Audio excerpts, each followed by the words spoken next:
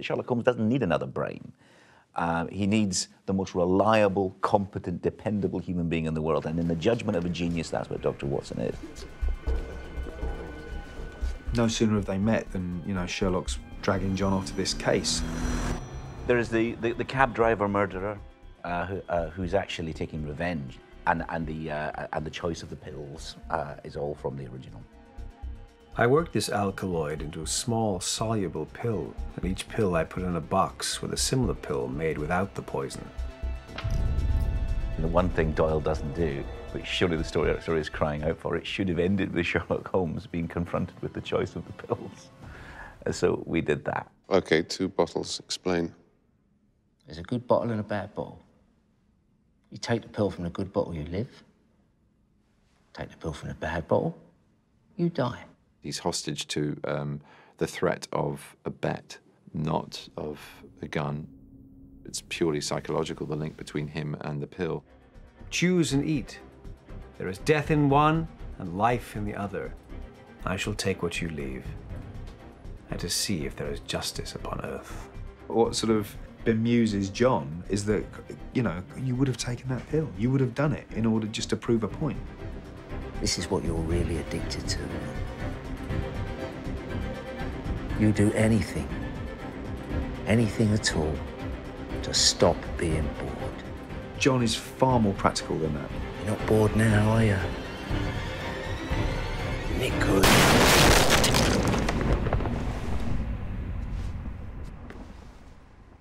I always want John to um, have that respect that I think he's due.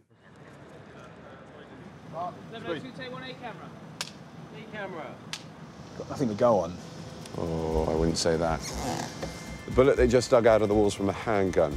Kill shot over that distance from that kind of a weapon, that's a crack shot you're looking for, but not just a marksman. A fighter. His hand couldn't have shaken at all. Clearly acclimatized to violence.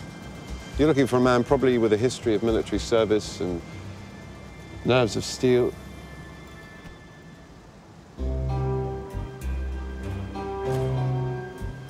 Actually, do you know what? Ignore me. Sorry? Ignore all of that. It's just the, uh, the shock talking.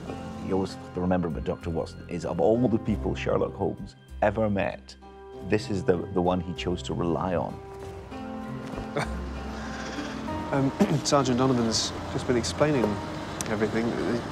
Two pills. Well, a dreadful business, isn't it? Dreadful. Good shot. Yes. Yes, must have been.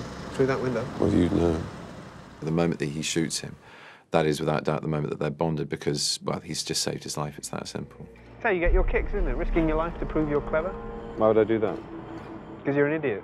I think that's why they have this sort of schoolboy high at the end of that episode where they're kind of giggling, but one's just killed a man and the other's just toyed with death and provoked him to kill a man.